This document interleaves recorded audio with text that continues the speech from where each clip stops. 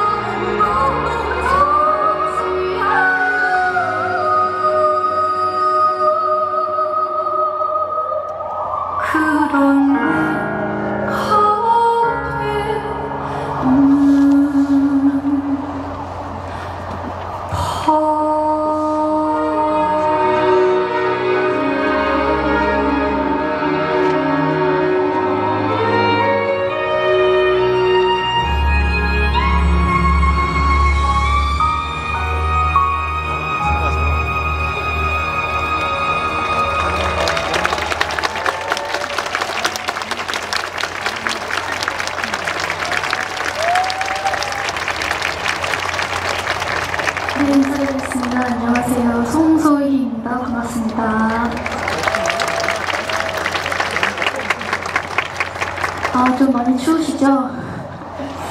아, 춥네요. 날씨가 또 오늘 갑자기 또 이렇게 더 추워진 것 같기도 하고 그렇지만 끝까지 집중해서 저도 잘 불러볼 테니까 여러분도 조금만 힘을 내주세요. 아 사실 한복이랑 어떻게 보면 가장 친하게 지내고 있는 저인데요. 오늘 공연을 준비를 하면서 생각을 해보니까 제가 다섯 살 때부터 한복을 입었더라고요. 근데 지금 제가 스물일곱 살이거든요. 20년이 넘게 입은 거죠. 근데 사실 그 당시에는 뭐 한복이 뭔지도 몰랐고요. 그리고 어릴 때는 한복의 뭐, 뭐 아름다움 이런 것도 잘 몰랐던 것 같고 나한테 맞는 한복이 뭔지 뭐 생각해보지도 않았던 것 같고 어, 여러모로 그냥 제 상황이 그랬으니까 당연히 입어야지라는 생각만으로 입었던 것 같은데 한 살 한 살 나이를 먹고 또 제가 한국 음악을 더 깊게 공부하고 그러면서 자연스럽게 한복을 더 많이 입으면서 아 내가 정말 멋진 옷을 입고 있는 거구나. 그럴 수 있는 사람이구나 라는 거를 정말 많이 느끼게 됐어요 그리고 그러면서 자연스럽게 어, 나한테 맞는 한복, 내 취향의 한복 이런 것도 생각을 많이 하게 됐고요. 그리고 그러면서 국악이 더욱더 좋아지면서 어, 한복도 더 좋아지게 된 것 같아요. 지금은 한복이 너무너무 좋고 어, 한복을 입을 때 가장 자신감이 생기고 어, 요즘은 사복 입고도 노래를 좀 하지만 그때랑 자신감이 또 차원이 다르더라고요. 그래서 앞으로도 우리 한국의 멋을 어, 정말 더 많은 사람들이 알았으면 좋겠다 하는 그런 간절한 마음이 있습니다. 여기 계신 많은 분들께서 그 일선에서 정말 열심히 노력하시는 분들도 많이 계신 걸로 아는데 이 자리를 빌어서 감사하다는 말씀과 더불어서 앞으로도 더 자부심 갖고 힘내줘, 내주셨으면 좋겠다는 그런 말씀 드리고 싶습니다. 어쨌든 오늘 저렇게 초대해 주셔서 진심으로 감사드리고요. 멘트를 좀 길게 하래요. 이유는 모르겠는데 그래서 좀 더 이렇게 떠들어 봤어요. 첫 번째 곡은 발물이라는 곡 들려드렸어요. 이 곡은 국악은 아니고요. 제 노래긴 한데 국악의 냄새가 물씬 나는 발라드라고 하는 게 정확하겠죠. 발물이 들려드렸고 이제 두 번째 곡으로 제 전공 이제 해야죠. 민요 들려드릴 텐데 태평가 먼저 들려드리도록 하겠습니다.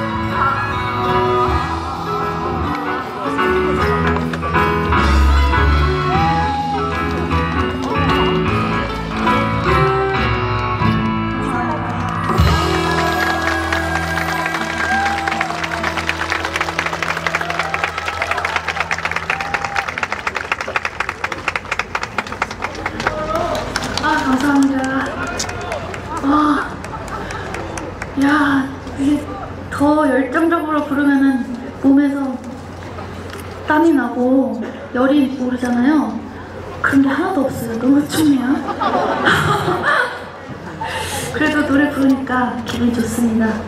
어, 마지막 곡 한 곡 더 불러드릴 텐데, 어, 이 자리를 빌어서 좀 뭔가 이제 개인적인 얘기긴 하지만 말씀드리고 싶은 게 있어요.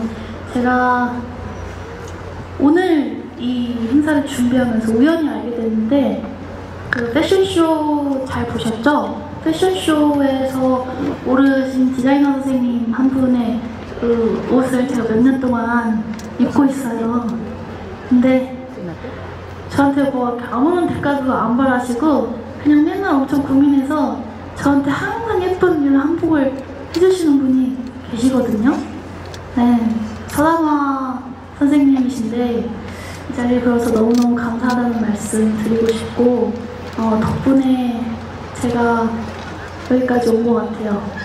왜냐면 한복이 제 자신감이거든요. 그런데 너무너무 예쁜 한복을 항상 입으니까 항상 어딜 가든지 제가 제일 예쁘다는 그런 자신감으로 무대에서 더 잘 해냈던 것 같아요. 그래서 이 자리를 빌어서 다른 데서는 또 말씀드릴 그런 게 조금 없을 것 같아서 네, 더 감사하다는 말씀 드리고 싶고 그리고 오늘 이렇게 와주신 시민 여러분도 계신 것 같은데 아, 우리 한복 되게 이쁘죠? 네, 앞으로도 많이 예뻐지시고 저도 그 일선에 있는 사람 중에서 한 사람으로서 한복에 누가 되지 않도록 예쁘게 입겠습니다. 마지막이니까 더 열심히 한번 불러볼게요.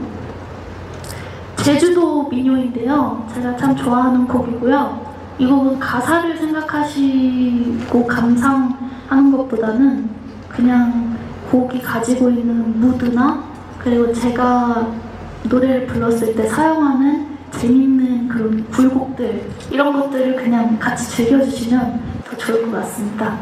감기 조심하시고요. 올해 잘 보내세요. 감사합니다.